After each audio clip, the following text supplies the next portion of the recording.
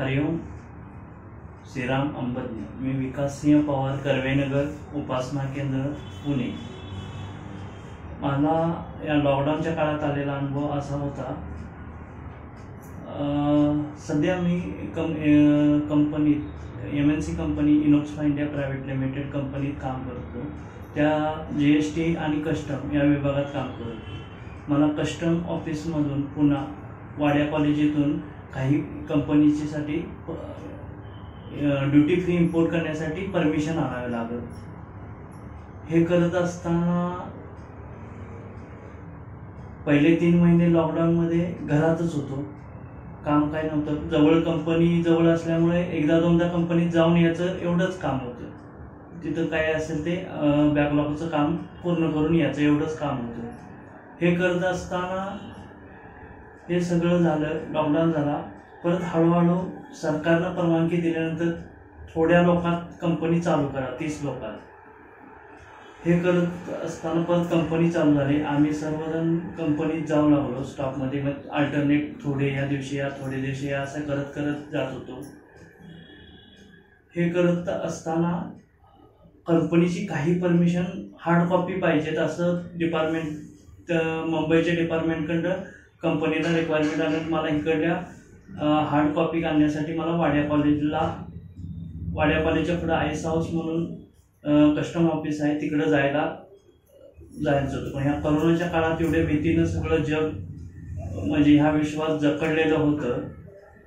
पण बापू आपला ह्या संकटापेक्षा किती मोठा आहे? ह्या अनुभवातून असं सिद्ध होतं संकट येण्याच्या आधी बापू आपल्या भक्ताचं कसं रक्षण करतो? बापूच्या उपासना ह्या सगळ्या सगळं आम्ही पटण वगैरे ऑनलाईन पटण वगैरे ह्या सर्व ऍक्टिव्हिटी चालू केल्या होत्या. हे हे करत असताना मी क- कंपनीतून मला नाही होय नाही होय करत जावाच तुम्ही गाडी देतो आम्ही तुम्हाला हे तर पण भीतीपोटी द्या कारण वाड्या कॉलेजला जायचं म्हणजे नायडू हॉस्पिटल जे कोरोनाचं मेन हॉस्पिटल पुण्यातलं होतं त्याला वळसा घालूनच जायचं होतं. हे आणि त्याच्याजवळ जायचं होतं. मग ती भीतीपोटी आपण कोरोनाच्या लांब राहायचं होतं पण ती कोरोनाजवळून जायचं असं होत होतं. पण तरी कंपनीच्या कामासाठी मला जाय पण मनात आपला बापूने दिलेला सर्वोच्च मंत्र मंत्र गज रामा रामा आत्मा रामा त्रिविक्रमा सद्गुरु समर्था सद्गुरु समर्था त्रिविक्रमा आत्मा रामा रामा. हा मंत्र म्हणत म्हणत मी जात होतो. जाऊन कंपनीचं काम करून हार्ड कॉपी आणल्या दिल्या काम चालू झालं सगळे झालं. ह्या एकंदरीत काळात ऋतू चेंज होतो तसा जुलै महिन्यात. जुलैच्या शेवटच्या आठवड्यात ऋतू चेंज झाल्यामुळे उन्हाळ्यातून परत पावसाळा पावसाळा त्यामुळे मला खोकल्याचा ता- त्रास हा दरवर्षी अस होतोच. खोकला असा होत असताना पण कंपनीत चालल्यावर सगळेजण भीतीच्या पोटी होते. खोकलं शिकलं तरी भेट होते सगळे. मग त्यांनी कंपनीवाल्यांनी निर्णय केला खोकला मला खोकला होता मला जाणीव होती की काय प्रॉब्लेम नाही.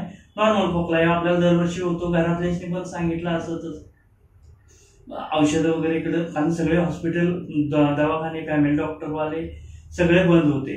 कोणाशी कॉन्टॅक्ट नव्हता काय नव्हता. एकमेव जेवढं सरकारी दवाखाना चालू होता. एवढंच होतं. ह्या काळात सरकार दवाखान्यात जायचं म्हणजे तरी पण भीतीच होती करोनाच्या काळात.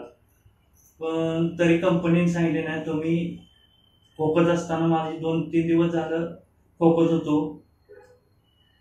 तर कंपनी सांगितलं तुम्ही तुमची टेस्ट करून घ्या. आणि तुम्ही घरून काम करा. टेस्ट करून घ्या म्हणल्या पायाखाली जमीन सरकली. पण बापू होते हे माहीतच होतं. सरकारी दवाखान्यात गेलो. तिथं मला चेक केलं. मला टेम्परेचर वगैरे सगळं ओके होतं. डॉक्टरने फक्त ते अँटी विटॅमिनच्या गोळ्या आणि लाल खोकल्याचं औषध दिलं एवढं दिलं. ते दिलं मी दोन दिवसच डोस घेतला असेल मी क्लिअर खट्ट म्हणजे क्लिअर झालो. म्हणजे बापू कृपेनं सगळं ओके खोकला माझा सगळा थांबला. कंपनीत मला पंधरा दिवस सांगितलं होतं मी घरून घरून काम करा म्हणून सांगितलं. त्या दिवशी ज्यावेळेला मी घरी आलो त्या दिवशीच कंपनीत दुसरा पॉझिटिव्ह पेशंट गावला म्हणजे येण्याच्या आधी काळजी संकटाच्या आधी बापू आपल्या भक्ताला कसा बाहेर काढतो? तू घरी जा. तिथं पेशंट आहे. तो पेशंट घालला त्यानंतर पुढं कंपनी पूर्ण सगळ्यांना सुट्टी दिली. कंपनीत लॉकडाऊन झाला. हे करत असताना वर्करवर चालवतं. थोड्या दिवसात परत कंपनीत प्रोडक्शनमध्ये पाच सहा जण पॉझिटिव्ह गावले. हे असं होत असताना म्हणजे बापू आपल्या भक्ताला कसं संकटाच्या आधी बाहेर काढतो?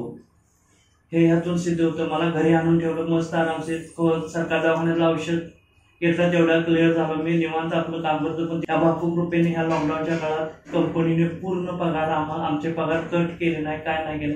मग कसं काम करून घेतलं. त्या लॉकडाऊनच्या काळात मी बाहेरच्या देशात एक्सपोर्ट वगैरे केलेत.